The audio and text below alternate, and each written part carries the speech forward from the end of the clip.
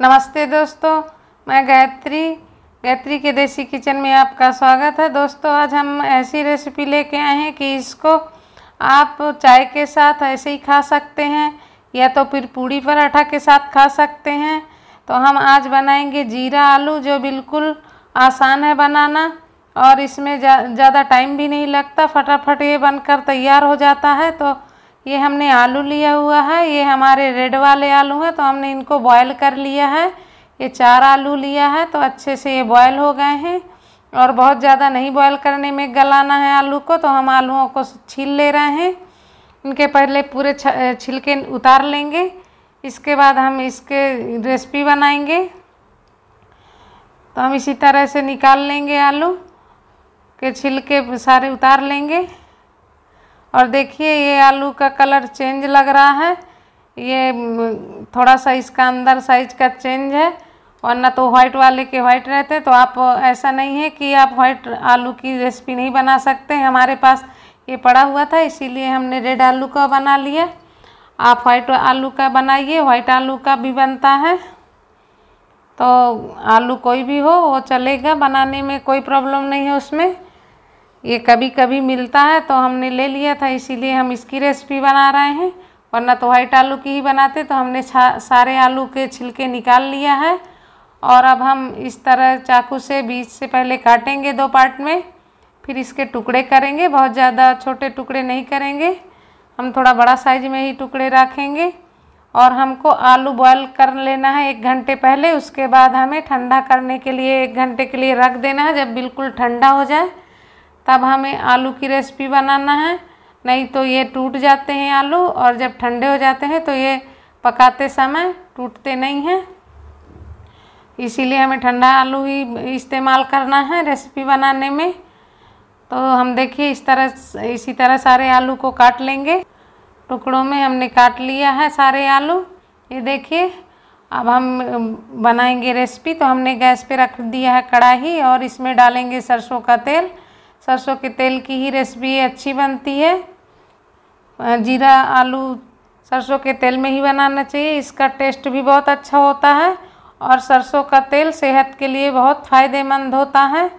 ये हार्ट के लिए बहुत अच्छा होता है सरसों का तेल, इसलिए हमें सब्ज़ियाँ ज़्यादातर सरसों के तेल में ही बनाना चाहिए, लेकिन जिसको जो पसंद हो तो वही तेल इस्तेमाल कर सकता है, ऐसा कुछ नहीं है, लेकिन ये थोड़ा फ़ायदेमंद होता है। तो हमारा तेल गरम हो गया था, हमने इसमें डाल दिया है जीरा।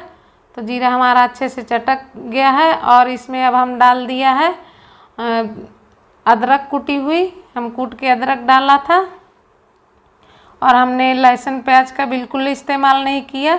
बिना लहसुन प्याज के ही हम बना रहे हैं और ये दो हरी मिर्च थी तो हमने इनको काट लिया था, इन्हें भी डाल दिया है। तो हमारे जीरा अच्छे से पक चुके हैं और जीरा हम और जीरा हम एक स्पून से ज़्यादा डाला था। जीरा थोड़ी ज़्यादा डालना चाहिए तो अब हम इसमें डाल दिया है आलू। हमारे जीरा अच्छे से चटक चुके थे और अब हम हाई फ्लेम में आलूओं को पकाएँगे। इसका कलर चेंज होने तक तो हम आलूओं को चलाते हुए पकाएँगे अच्छे से। इसका सुनहरा कलर हल्का हो जाएगा आलूओं का, तब हम इसमें मसाले डालेंगे। इसी तरह हम चलाते हुए पकाएँगे। और ये बहुत टेस्टी लगता है। आप इसको सूखा भी खा सकते हैं। अभी बारिश का सीज़न है, कोई सब्ज़ी नहीं मिलती है तो आप ऐसे ही जीरा आलू बना के और रोटी सब्ज़ी खा सकते हैं। जीरा आलू और रोटी और पूड़ी पराठा के साथ भी खा सकते हैं। बच्चों को टिफ़िन में भी दे दे सकते हैं स्कूल में और टिफ़िन में भी अच्छा रहता है। अब हम इसमें डालेंगे मसाले। हमारे आलूओं का कलर चेंज हो गया तो हमने डाला है गरम मसाला। हम थोड़ा ही डाला है, बहुत ज़्यादा नहीं डाला है। और अब डालेंगे हम आधा स्पून हल्दी पाउडर। और इसमें स्वाद के अनुसार नमक डाल देंगे। और ये है काश्मीरी लाल मिर्च पाउडर। तो हम काश्मीरी लाल मिर्च पाउडर डाल देंगे।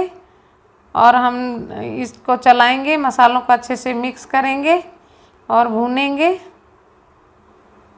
इसमें ज़्यादा कोई मसाले नहीं पड़ते हैं। हम इसी तरह पकाएँगे चलाते हुए। टाइम भी नहीं लगता है इसमें ज़्यादा और हम लाल मिर्च पाउडर नहीं डाला है, हमने हरी मिर्चें डाल दी थी। हमारी हरी मिर्च बहुत तीखी थी, इसलिए हमने लाल मिर्च पाउडर नहीं डाला है। और इसको अब हम ढक्कन ढक के थोड़ी देर तक पकाएँगे। हम लो फ्लेम में पकाएँगे। इससे मसाला भी अच्छे से चिपक जाएगा आलूओं में। और देखिए, हमने ढक्कन निकाल दिया है। तो देखिए, हमारे मसाले अच्छे से चिपक चुके हैं आलू में। और आलू भी बिल्कुल नहीं टूटे हुए हैं। यदि हम बॉयल करके तुरंत गरम गरम आलू की रेसिपी बनाते तो हमारे आलू बिखर जाते रेसिपी बनाते समय। तो हमारे आलू एकदम खड़े खड़े हैं और देखिए हम तोड़ के भी दिखा रहे हैं, अच्छे से पक भी गए हैं। तो हमको इसी तरह पकाते हुए, चलाते हुए पकाना है और हमारी सब्ज़ी पक चुकी है। तो अब हम इसको थोड़ी सी और चला देते हैं, क्यों जले नहीं नीचे से।